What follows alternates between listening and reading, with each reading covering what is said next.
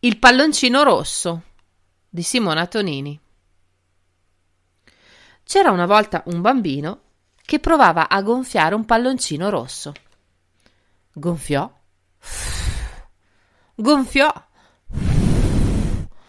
gonfiò, finché il palloncino volò su in cielo. Un colpo di vento forte lo spinse giù, così tanto giù da arrivare a un ramo di melo.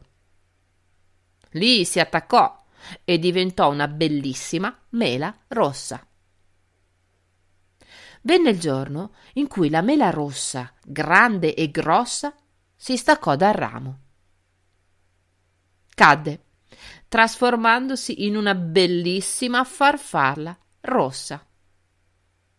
Dopo un po' di tempo la farfalla, stanca del tanto volare, si posò su un filo d'erba e diventò un bellissimo fiore rosso. Un giorno un bimbo lo raccolse, voleva portarlo via. Ad un tratto però venne un acquazzone e il fiore, per non far bagnare il bambino, si trasformò in un gigantesco ombrello sempre rosso. Il temporale era finito. Così il bambino corse a casa, ma il prato era bagnato e non si poteva scendere.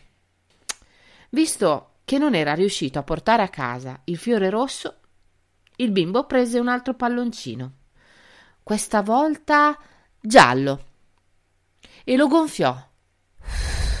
Gonfiò. Gonfiò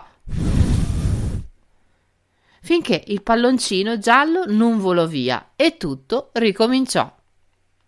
Avete mai usato tutta, tutta, proprio tutta, la vostra delicata, insistente e romantica tenacia per vedere il trasformarsi di un fiore? Simona Tonini